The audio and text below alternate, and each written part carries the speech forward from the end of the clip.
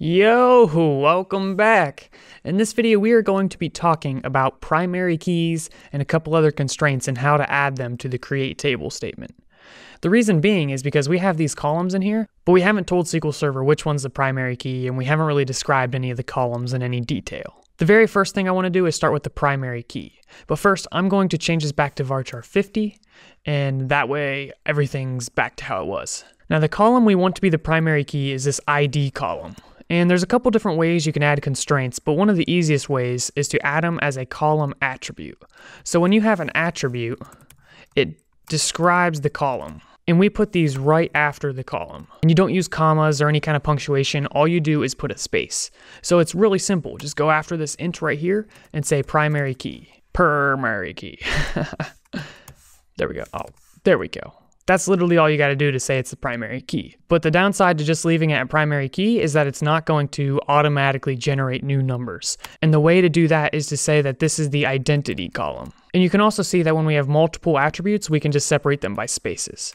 As well as that, when you say primary key, it's automatically going to be not null and unique. But we might want to add some of those attributes to some of the other columns. For example, this name here, we might want to say a name is required. So to do that, you can just say not null. Same for the species. Another attribute we can use is unique. The thing is, here we don't really have a good column to use this attribute on, so let's add another column. We'll add an email address for us to contact this animal or, or the animal's owner if that would be more appropriate. So we'll just say contact email. And we'll need to add a comma after the previous column.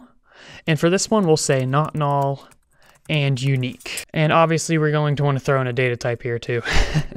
we'll just go with varchar 50. Now something about emails is that emails can actually be longer than this, but in the practical world, most emails are going to be way under 50 characters. so if you make a larger varchar, you increase the probability of people putting fake, huge emails into your database. So generally I think 50 characters is just fine. Now you can see that we've described a lot of the other stuff in this table, and the table becomes a lot more like what we imagined when we were designing this. So let's run this and just make sure everything works fine. Okay, commands completed successfully. Now let's go to our Object Explorer and see how these things show up. So let's go to Databases, Subscribe, Tables, Animals. And you can see all the columns right here. You can see that this is the primary key. That's what that little key symbol is. And you can find all of our attributes right here. Not null, not null, not null. The unique actually goes in the keys.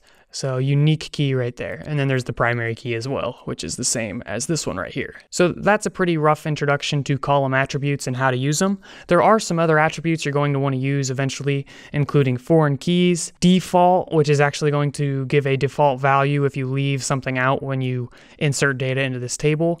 And then there's also an attribute known as sparse, which can be used for nulls. So if a lot of the data for a column is null, you can use the sparse attribute and it will help save storage. But we will talk about all that in the upcoming videos, so don't worry about it for right now. Just focus on what we did here, and in the upcoming videos, we'll be adding some more to this table, and everything will go well. So thanks, guys, and I'll see you in the next video. And as always, please be sure to click like and subscribe.